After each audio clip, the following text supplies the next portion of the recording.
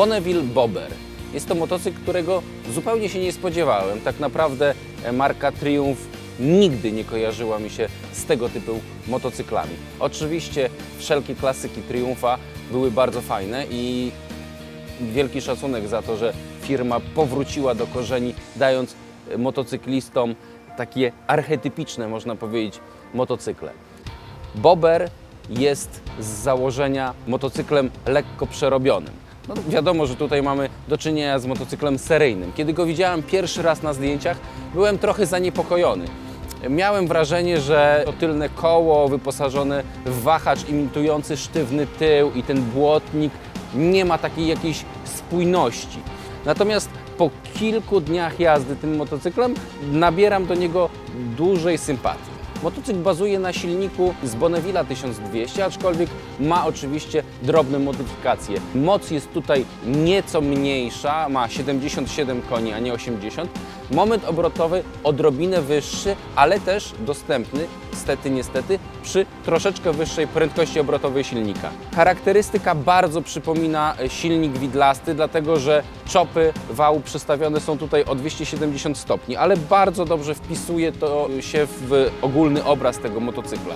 Taki powinien e, po prostu być. Moment obrotowy jest bardzo zadowalający. Uśmiech pojawia się automatycznie na ustach i co ciekawe, mimo tej mocy bardzo dobrze, że wyposażono ten pojazd w kontrolę trakcji. Przydaje się ona naprawdę na wyjściach z zakrętu, kiedy sypniemy mocno z garści, ta kontrola działa i powoduje, że możemy ten zakręt opuścić w miarę bezpiecznie. Oczywiście, jeżeli ktoś woli, możemy ją wyłączyć, za co wielki szacunek dla Triumfa, że daje możliwość wyboru swoim kierowcom, czy chcą mieć kontrolę trakcji, czy jej nie chcą mieć. Mi kontrola trakcji raczej przeszkadza niż pomaga. Nie lubię jeździć z kontrolą trakcji. Mam wrażenie, że ten motocykl nie jedzie tak jak powinien. Czasami ta kontrola trakcji powoduje, że moc jest zabierana w nie tych momentach, których bym się spodziewał. Ale to jest y, już naprawdę czepianie się detali. Motocykl ma dostępne wszelkie gadżety, które powinien mieć na swoim pokładzie współczesny pojazd, natomiast y, brakuje być może odrobinę termometru temperatury cieczy chłodzącej i temperatury zewnętrznej. Tego nie ma, ale jest sporo innych funkcji e, w zegarach dostępnych. Co ciekawe, sam zegar jest regulowany. Możemy ustawić sobie pod takim kątem, jak uważamy, że najlepiej nam się e, obserwuje prędkościomierz i resztę wskazań, albo też jak się nam bardziej podoba motocykl, czy z bardziej pionowo postawionym e, zegarem, czy też lekko położonym. Po motocyklu raczej nie spodziewalibyśmy się, że będzie jakimś tuzem na ciasnych, szybkich zakrętach, aczkolwiek po kilku dniach jazdy w Hiszpanii po krętych drogach naprawdę broni się ten motocykl. Można nim jechać w miarę sprawnie.